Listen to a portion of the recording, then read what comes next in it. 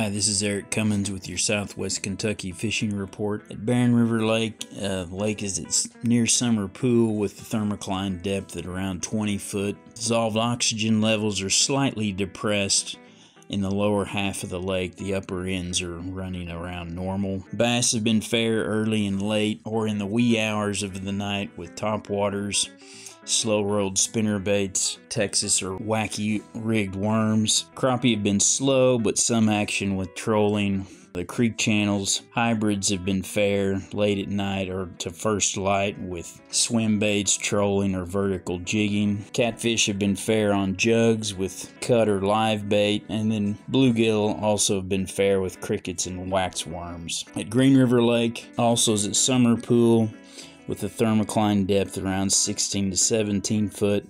Bass have been fair early and late, and at night with Texas rigged worms, top waters, and jigs, or slow slow retrieve swim baits or spinner baits. Crappie have been fair there, trolling the channels near the thermocline. Barren River tailwater flow has been consistent for the last few weeks, which translates to good float and wade fishing conditions from the dam down to the Drakes Creek confluence. Bass action on this stretch has been good with top waters, crankbaits, or spinners and soft plastics, with the occasional walleye and muskie being reported.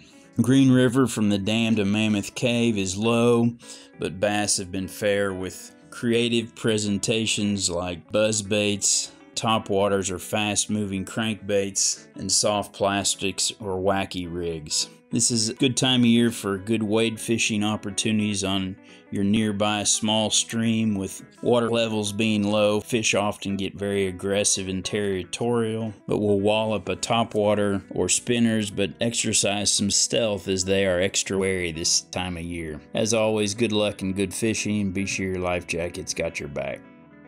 This is Marcy Anderson with the Fishing Report for Southeast Kentucky.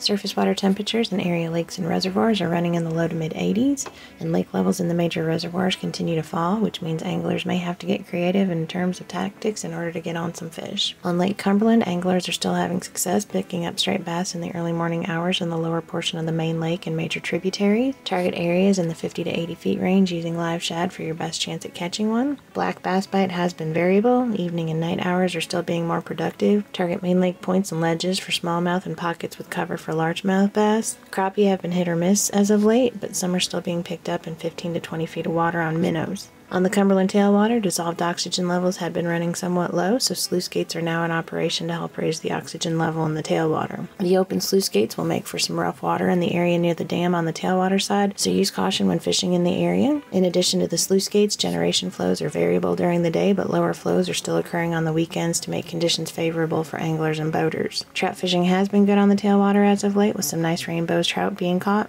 On Dale Hollow, fishing has been somewhat slow for bass. Anglers have been having some success catching largemouth on spinnerbaits and jigs. Fish are somewhat scattered, with some being shallow in woody structures and others being deep in up to 40 feet of water. Grass beds are always a good option to target bass on Dale Hollow. The walleye bite has slowed down, but some are still being picked up, trolling crankbaits in 25 feet of water. Also, rainbow trout stocking will soon be underway in the fall for Rock Creek and McCreary County. They can be caught on a variety of lures, including small spinners, worms, and corn. So, as always, good luck and good fishing.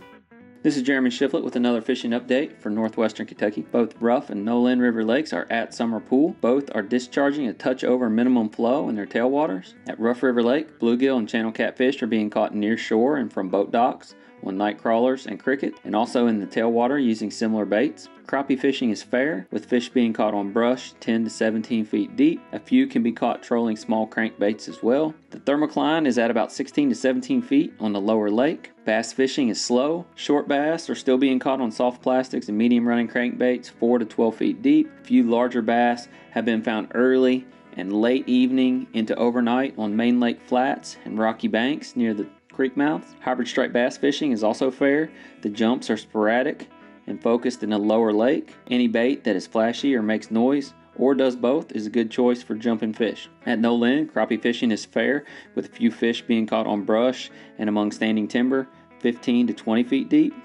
Catfishing has been good in the evening and overnight using jugs and rod and reel, baited with night crawlers, chicken livers, and strawberry chicken. Bass fishing has been fair. Black bass and white bass can be found in the jumps early and late, but typically a few more early in the day. A few good bass have been caught in the nighttime bass tournaments. Thermocline is around 17 to 18 feet deep in the lower lake. Let's continue the fair trend with bass fishing in the state lakes, city county owned lakes, and on our WMAs. Soft plastics, Texas or Carolina rigged, Ned rigs, and medium running crankbaits have all caught fish here and there. Target woody structure, the edges of the weed beds, and large chunk rock. Catfishing has been pretty good in the state lakes and WMA lakes, especially in the evenings and overnight. Please be careful if you do light a fire and make sure to fully extinguish it and take your trash with you when you leave. Trout are scheduled to be stocked in several places the week of the 11th. Check the stocking page on our website for exact dates. Otter Creek on Fort Knox, Nolin Lake Tailwater, and Roundstone Creek are among the ones receiving fish in our area. At the moment,